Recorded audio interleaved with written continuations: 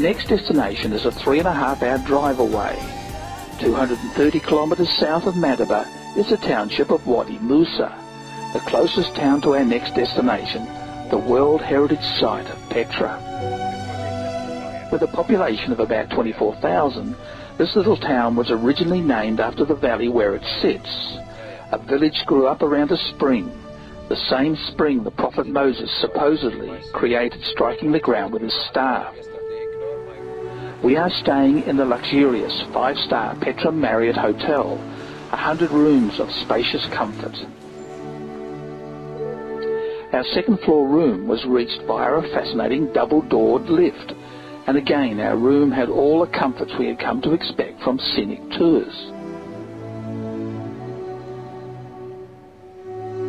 This time out the window was not the bomb site of the Le Meridien Hotel Amman, but a spectacular view of the Petra Valley and the surrounding hills. Through the French windows downstairs, a beautiful swimming pool, and inside a spacious lounge and casual dining in unmatched surroundings.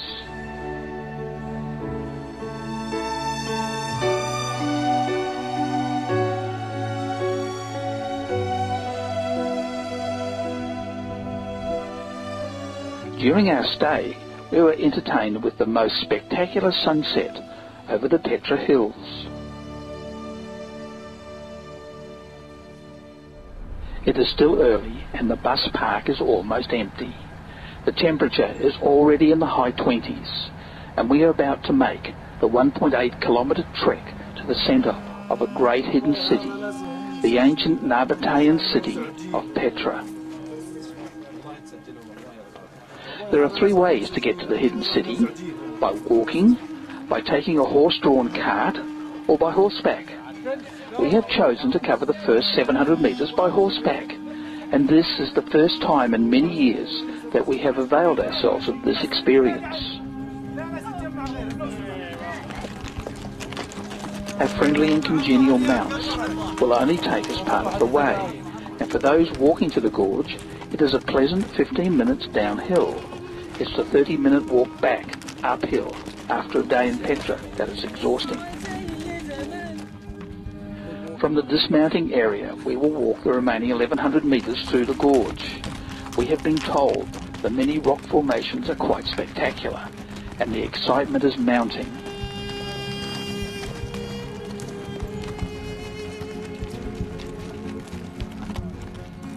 Our group soon starts to collect at the staging point, and those who have come on horseback dismount and join the others. Our journey through the gorge, or Siq, on foot, is over a kilometre, and as we enter the gorge we are greeted by a Roman centurion standing guard, no doubt a member of the Jordanian tourist police. Petra became part of the province of Syria in the Roman Empire in about 106 AD. Afterwards, the city continued to flourish and reached the height of its splendour a century later. Although the Siq is only three to four metres wide in parts, there is still room for a horse-drawn cart. Unfortunately, those on board will miss many of the dramatic rock formations and their fantastic colours. Running alongside of the Siq is a 2,000-year-old water channel. Archaeological evidence suggests the area was subject to flash flooding. The Nabateans controlled these floods by the use of dams, cisterns and water conduits. They also used aqueducts to transport water from local springs into the city. These innovations stored water for long periods of drought and enabled the city to prosper. No one really knows when the Nabateans settled here. Some archaeologists suggest sometime after the 6th century BC. They were an elusive and mysterious race, and no one really knows for sure just how large their empire was. According to some historians, at its peak, the Nabatean Empire stretched from modern-day Yemen to Damascus, and from Iraq to the Sinai Desert. This deep and twisting gorge, rough where the ancient Roman road showed through, is the gateway to one of the most extraordinary and mysterious places ever created by man. Suddenly, a slit of strong light can be seen through the darkened rocks ahead. The moment has come. Through the dark perspective, half seen through the tall narrow opening, a magnificent facade. The columns, statues and cornices of El Khazneh, the treasury of the Nabateans.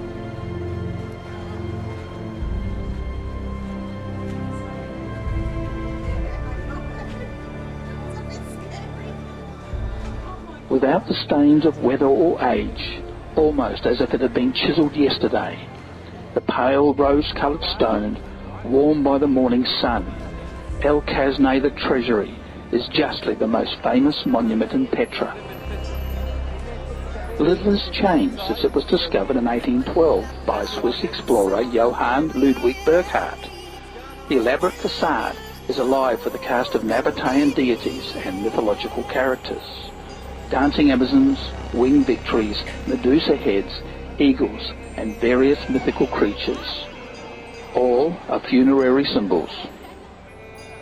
Believed to be a storehouse of Pharaoh's wealth, deposited here by magic, the urn at the top was deemed to be the most likely repository.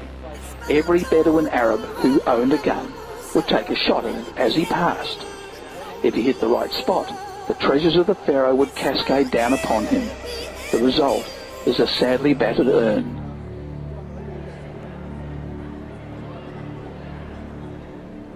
The Nabateans were very wealthy traders and their caravans, some including up to a thousand camels, travelled widely most historians are still uncertain of the borders of their kingdom or the extent of their travel.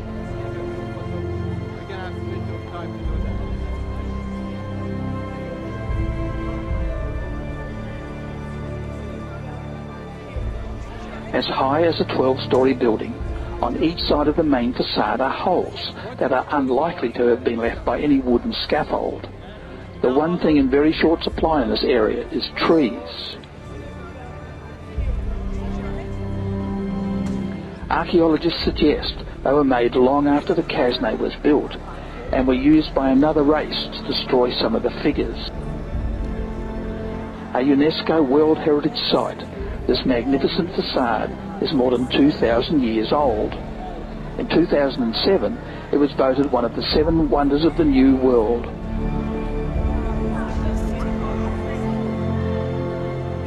Many scholars believe the 39 metre structure was built in the 1st century as the burial place for the rich and powerful Nabatean king Aretas IV. The bones of 11 individuals were found in four small chambers discovered below the edifice and excavated in 2003. Whatever the reason, the treasury is clearly designed to strike wonder into all who enter the Nabatean capital through the gorge. Every year, over half a million tourists trek the 1.2 kilometres through the gorge to see this wondrous sight. But on a day as hot as this, not many find their way to the outdoor cafe.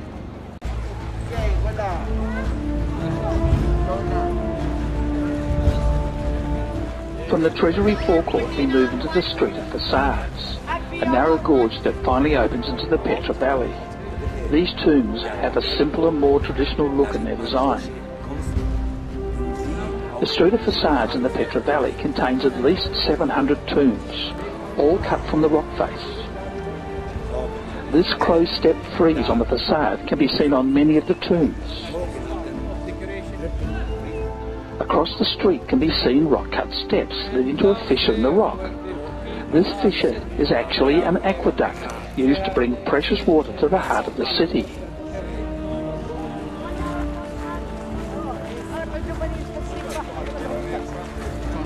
A lost jewel in the Arabian desert, ancient Petra was one of the world's most mysterious cities. The streets, in rows one above the other, are alive with tombs. Or perhaps alive is not the right word. The theatre, constructed by the Nabataeans in the first century, stands at the southern end of the urban area. the only Roman amphitheatre cut from solid stone. The Romans demolished several tombs after the annexation and increased its capacity to about 8,000. Opposite the theatre is El Khubtha, a hill on which hundreds of tombs can be seen. Constructed around 70 AD, the Urn tomb has a deep-cut colonnaded courtyard. These are Assyrian-type monuments with crow-step decorations running along the cliff face. It isn't known whether these served as houses or tombs, but over the centuries, Bedouins have lived in the crypts and no doubt cleared them of any treasure. Palace tomb forms part of the royal tomb group, thought to be those of Nabatean kings, and certainly amongst the most impressive of the tombs found here in Petra. The tomb of the obelisk has echoes of ancient Egypt. To the Nabateans, the obelisk represented the souls of the dead buried with their contents, including their treasure. Petra has much to offer visitors, a must-see for anyone interested in archaeology, history and ancient cultures. Included is the spectacular landscape, scenic hiking trails and amazing archaeological relics. On the summit of Al Habis is a 12th century Crusader fortress.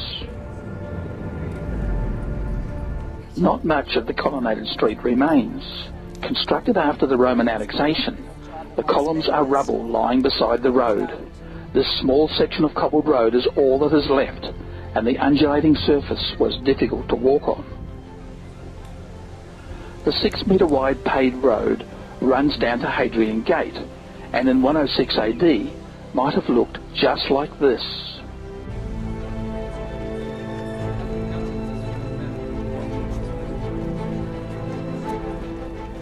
The colonnaded street ends at the triple arched or Hadrian's Gate, probably built in the second century. With huge wooden doors in Greco-Roman style, it acted as a ceremonial entrance to the sacred precinct of Qusar el Bint. The sacred precinct of the Qusar el Bint temple, dedicated to Dushara, the chief god of the Nabateans, is the only substantial stone-built structure still standing in Petra built with blocks created during the making of El Khazneh, the treasury, these can still be seen lying around on the ground. On the way back, we meet a small two or three year old boy selling coloured stones. The Nabateans had a reputation for being very rich traders. The occasional drink station becomes a welcome relief in the heat of the day. During the hottest part of the day, temperatures can be well over 40 degrees centigrade. Even the little donkeys look for some shade amongst the desert rocks. Drinking lots of water to keep hydrated is important, and a loo stop is sometimes necessary. In this toilet, we see some of the amazing coloured rocks the Petra Valley is famous for, and the incredible patterns and formations.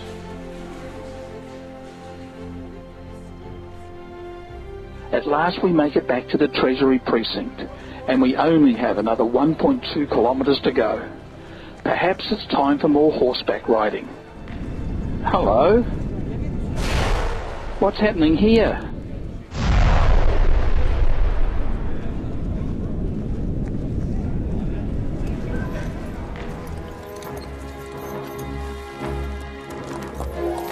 Maybe go home now, please? Ready? Indy, Henry, follow me. I know the way. Ha!